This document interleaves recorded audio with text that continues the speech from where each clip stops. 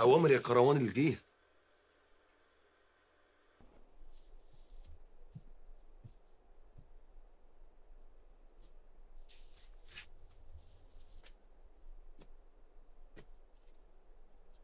هو إيه اللي حصل؟ إيه اللي حصل فيها يا فندم هو أنت كنت بايت فين امبارح؟ امبارح كنت بات عند واحد صاحبي كده أمه مسافرة وقاعد لوحده مؤقتا يعني هو أنت عملت إيه يا مان؟ عملت إيه في إيه يا فندم؟ في حد قال لك عني حاجة وحشة؟